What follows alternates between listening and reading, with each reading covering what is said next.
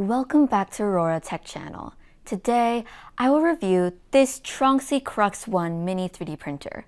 It's the same size as the Prusa Mini as the print volume is 180 by 180 by 180 millimeters.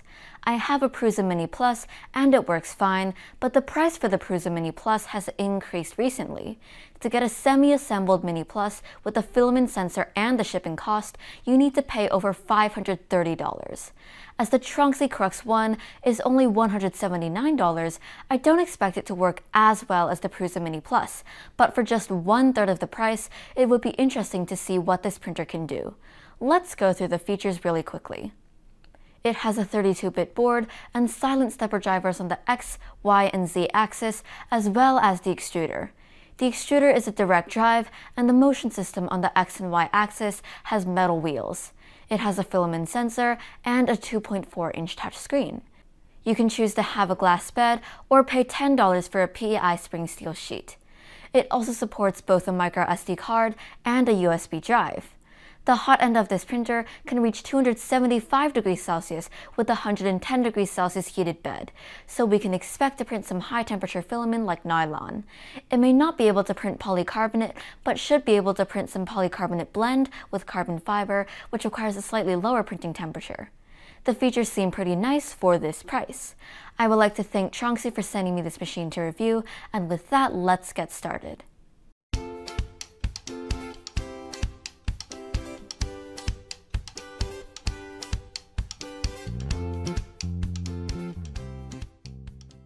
We have the X and Z axis, the base, a filament holder, and some tools. The assembly is easy. Just attach the X and Z axis to the base, tighten the screws, mount the filament holder on the side, use the clips to secure the glass bed, and finally connect one Z-stepper motor cable.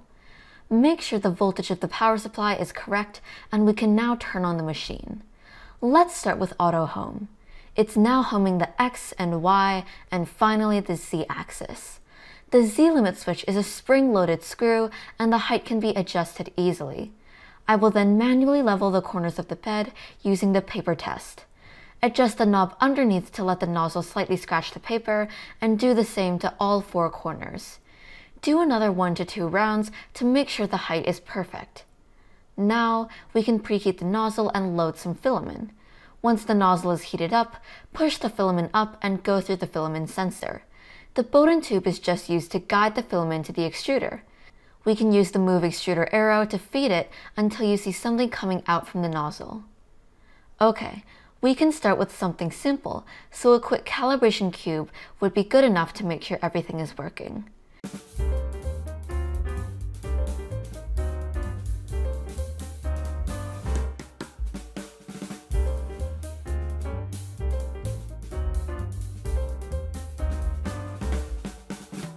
I just used the sample filament to print this cube, and the surfaces and layers all look fine. The dimensions are also accurate. Next, I will go to Cura and set up this printer. Select Add Printer, and since this printer is new, I can't see a profile for it, but I can just use any similar size printer and make some changes.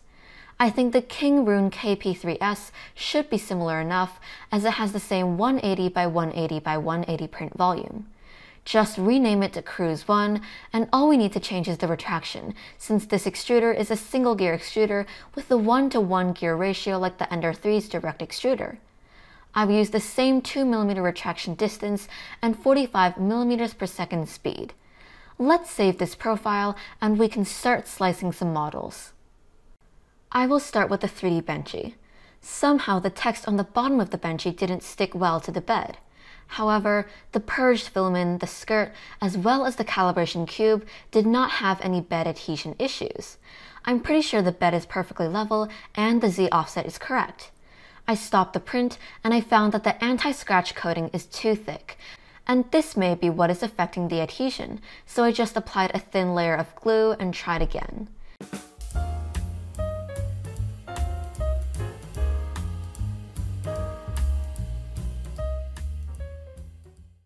This time it sticks perfectly fine. The print looks good, the layers look fine, but the stringing is more than expected. The cooling is good, and the bottom of the benchy also looks perfect. To confirm whether the stringing is caused by the sample filament or my retraction settings, I will do a simple stringing test.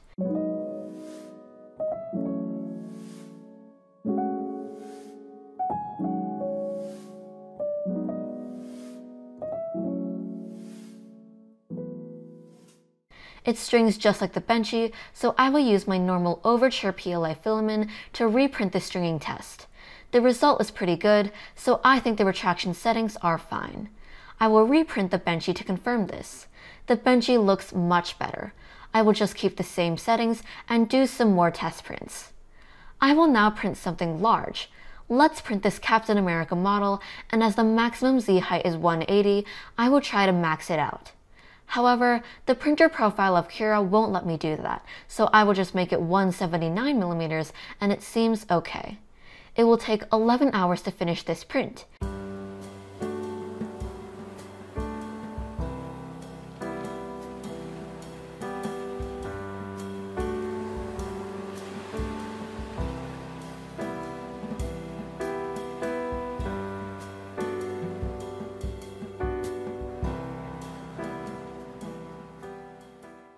It prints very nicely until the last few millimeters when the z-axis cannot move up anymore and all the final layers are compressed, making this a flat-headed captain.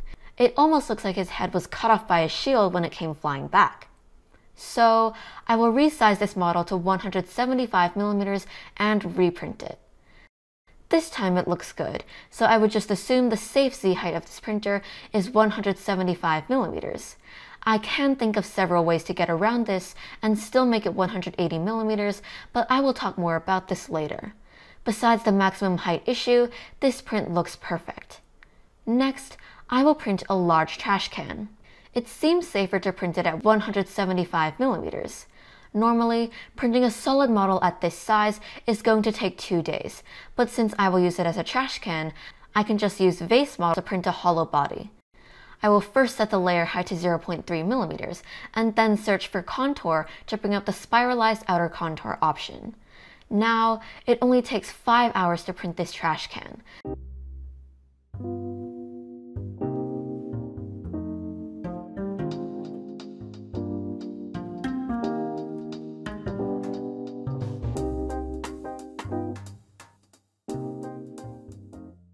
The layers look good, the bottom is perfectly flat, and the silver PLA trash can is overall really beautiful.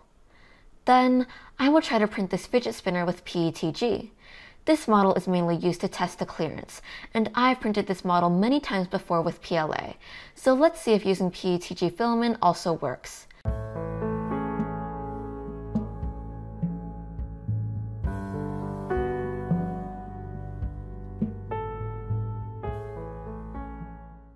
The result is okay. It's not as smooth as those printed with PLA, but it can still spin freely. Next, I will try some ABS to print this crate. I will set the nozzle temperature to 250 degrees Celsius and the heated bed to 100 degrees Celsius and turn the cooling off. This model will take 6 hours and 12 minutes. As I applied glue to the whole print bed, it stuck perfectly. There's just some stringing, but that is expected when using ABS to print a model that requires a lot of retraction without cooling. I also printed this model again with PLA, and this crate is the best that I've ever printed. The cooling is perfect, and there's no stringing at all. As this printer claims the maximum nozzle temperature can reach 275 degrees Celsius, I will try some nylon to print this simple nut. I dried this nylon filament two weeks ago, and it has just been sitting around since then. I can hear some fizzling noises when it's extruding, as nylon filament is extremely sensitive to moisture, but I don't want to dry it for 6 hours just to print a 30 minute nut. The result is still okay. It fits perfectly with the other part I printed previously. Finally, I will design a filament mount in Fusion 360 as I want to move the filament mount from the side to the top. I will use polycarbonate carbon fiber to print this mount. 275 degrees Celsius may not be good enough to print all kinds of PCCF filament, but I tried to print this blend at 280 degrees Celsius and had good results, so I think 275 degrees Celsius should also be fine.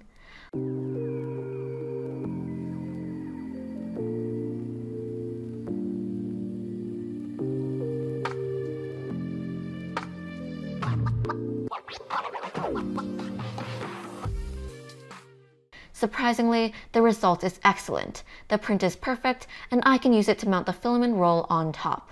The filament feeding angle is much better, and I can get rid of the Bowden tube guide.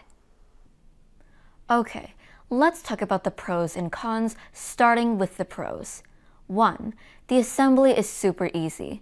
You just have to mount the X and Z axis onto the base, mount the filament holder, and connect one cable. 2.